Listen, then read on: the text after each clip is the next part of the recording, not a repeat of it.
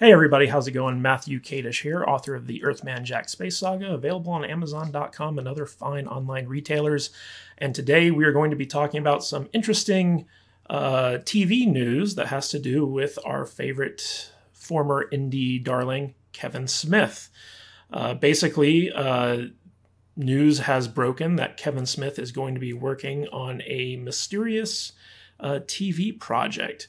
Now, uh, for those of you who uh, know who Kevin Smith is, you know that in the 1990s he was kind of the spearhead of the in- indie film movement that happened uh, during that decade. Uh, he kind of came on the scene with Clerks and then uh, sold out to studios and did Mallrats and then kind of gravitated back towards more indie stuff with uh, Chasing Amy and Dogma and you know things of that nature. And uh, I believe after uh, the failure of his movie Jersey Girl, he kind of uh, retreated a little bit, and he's never been quite the same since uh, the failure on that movie. And uh, but he's been kind of you know uh, back in the indie scene doing these like smaller films like Yoga Hosers, and he's got a new movie coming out with which is kind of a return to his 1990s indie roots called the Jay and Silent Bob reboot, which is basically the exact same movie as Jay and Silent Bob Strike Back, except uh, you know uh, decades later. So uh, you know Kevin Smith has continued to to work on stuff. He's been involved with a lot of different TV series. And most recently, he's also been directing episodes of some of the CW properties uh, for uh, DC Comics. Uh, I believe he's worked on both The Flash and Legends of Tomorrow and t- TV shows like that. So recently, uh, there's been buzz about this uh, mysterious TV project that he's been set to work on. And uh, this article comes to us from comicbook.com and it says Kevin Smith lands big TV series involving nostalgic IP. Before long, Kevin Smith will apparently be showrunning a new television series that many pop culture fans will be excited about. According to Smith on his latest episode of Fat Man Beyond, he and his co host Marc Bernardin have been hired to write a new television show involving quote unquote nostalgic intellectual property, although any details beyond that weren't shared by the two writers. Why don't we have an effing show? Smith hypothetically asked before revealing the news. We got a show. That's when it was revealed Smith would be leading the way in the writer's room and asked Bernardin, uh, who worked on uh, Hulu's Castle Rock, to join his writer's room, another aspect of the writing process entirely new to the independent filmmaker. I've never been a guy to work a writer's room, and not because I'm against it, but indie is alone, Smith said. One time on Clerks the cartoon, we had a writer's room that was so effed up, it was weird to have people, you know, you'd pitch an idea and they'd say, oh, I don't know. And I'm like, I effing invented Clerks it's kind of funny, you know, you're the inventor and you pitch an idea and everyone's like, ah, I don't know about that. And you're like, I'm, I'm the guy who created it. I imagine that's how uh, George Lucas feels a lot of times. Throughout the rest of the introduction, Smith and Bernardin were sure to point out the property isn't a Marvel property, but did admit it's certainly a well known property that'd have viewers feeling nostalgic.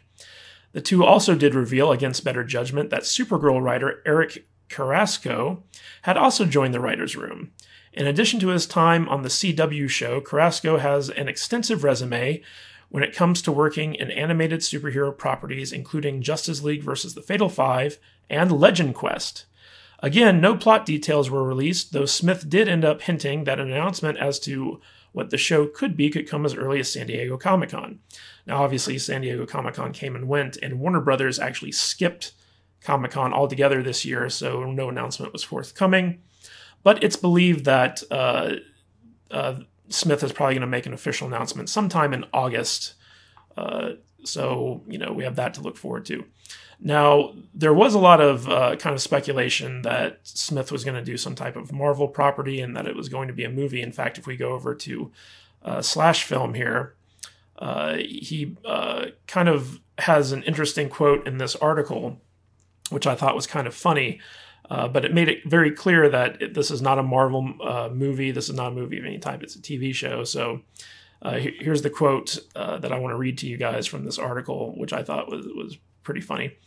Uh, I know I'm being vague. I wish I could effing tell you, at, and at the moment, I, I can tell you, man, I'm going to be like, blah. And you're going to be like, what the F? but it's not a movie. I've had a lot of people be like, "Oh, it's a effing Marvel movie." Nobody would give me a movie. Nobody would give me a movie whatsoever. I'm struggling to make Jay and Silent Bob reboot. This is a series thing, but it's a effing dynamite series in a real, real, weird, wonderful place. So more as I know more. Uh, so forgive me for butchering that quote uh, in my reading. But basically, uh, you know, Kevin Smith's filmmaking days have been kind of difficult. Uh, his last few movies have been independently financed, and uh, I believe Jay and Silent Bob was another uh, independently financed work, and it was done super cheap. Um, so you know he he hasn't been able to make like a big studio film, I think, since maybe um, Cop Out, which was a, a huge uh, bomb on his part, uh, simply because it was just a, a really weird, bad movie. Um, but it, it was his last big studio film, I think, and everything since then has just been uh, indie stuff, uh, which is where Smith tends to shine. Now, Smith has been involved in a lot of different TV shows over the years, and none of them have really panned out. In fact, if you remember back, you know, before Disney owned Star Wars, Smith was actually involved in the Star Wars TV show that George Lucas was um, going to be doing.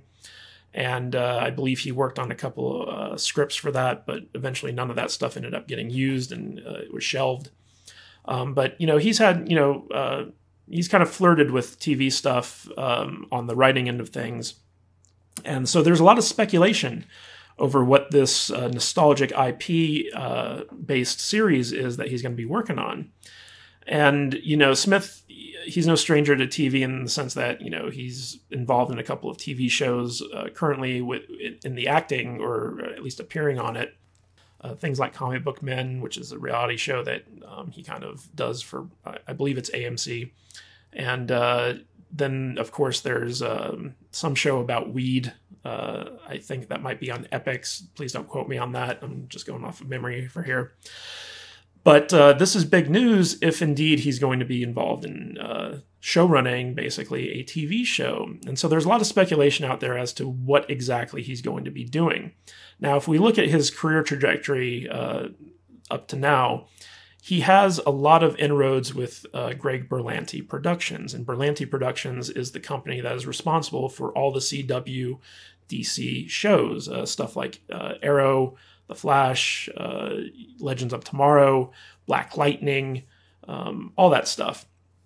So uh, Smith has been um, tapped to direct some episodes of those series, so we know that he has a relationship with Greg Berlanti.